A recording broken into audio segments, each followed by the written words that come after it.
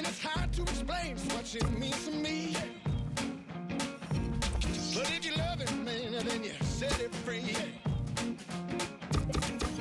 Oh, I can't see no reason why.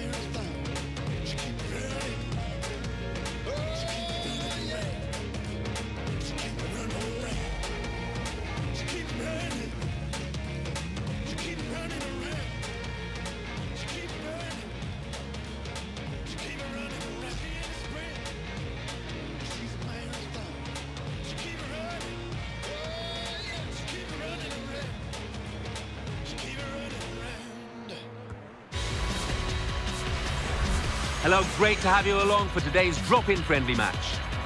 Well, it may be billed as a friendly, but these games are always a good place for players to hone their skills and possibly even attract the attention of some clubs. I'm looking forward to seeing what they've got in store for us. The game, of course, under floodlights this evening. So without further ado, we're off to the stadium. Here's your commentary team, Martin Tyler and Alan Smith.